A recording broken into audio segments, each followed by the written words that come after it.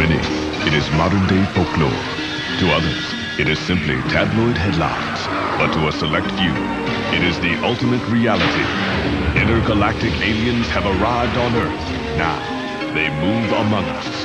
Only one top-secret elite group of trained professionals has the ability to detect these extraterrestrial beings.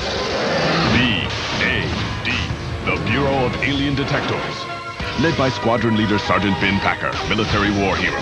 Special Agent Shane Sanderson, life science expert. Moose Tringanu, alien encounter survivor. Colin Marcus, computer specialist. And Casey Taylor, psychic communicator. Together, they have only one mission.